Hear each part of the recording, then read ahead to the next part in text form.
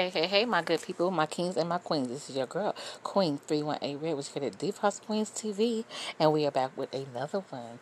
As y'all have know that John Gray, Pastor John Gray, has been released from the hospital three days ago. Praise God, praise God, praise God. Um, I have been with his teachings over the years and it have got me through a lot of my deepest and darkest times in my life and so i want to thank him and his wife for getting me through my troubled times and also the most high my father god that's in heaven so praise god that he is out of the hospital and I hope that he have many, many, many, many more journeys along the way. And hi to Mrs. Aventer Gray. Hey sister, hey queen, how are you?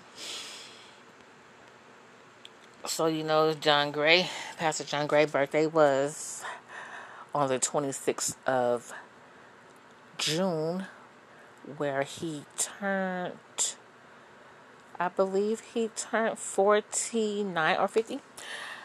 I'm not sure, don't quote me on that. But, anyways, the more of the story is that we are glad that Pastor John Gray is out of the hospital and he's going to have a well speedy recovery. He has been transferred from where he was went overseas to this hospital. So we're just happy that Mr. Pastor John Gray is doing well at this time, and we wish him and his wife and his family all the best.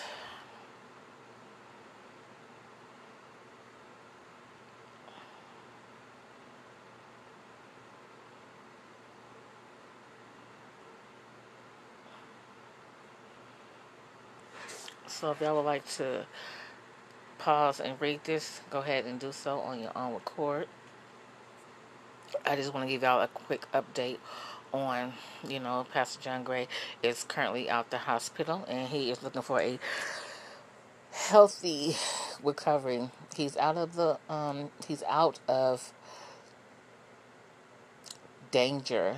We don't know any other updates besides that he was released. He had a pulmonary embolism. I believe that's what they call it.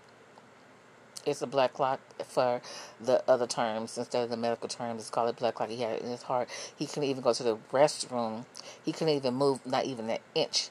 That's how close this blood clot was to his heart that he couldn't even move a inch of his body, or he would have passed away.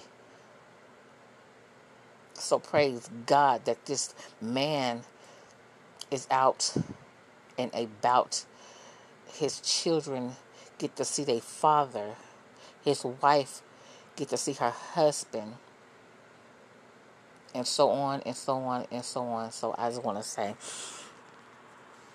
that I'm happy to announce to my channel that Pastor John Gray is out of the hospital and he is doing well at this moment. Relentless Church, a megachurch in Greenville, posted on social media that he is out of the hospital now. He was admitted to a critical care unit earlier this month because of a saddle pulmonary embolism in the pulmonary artery. The life-threatening blockage can stop blood flow to the lungs.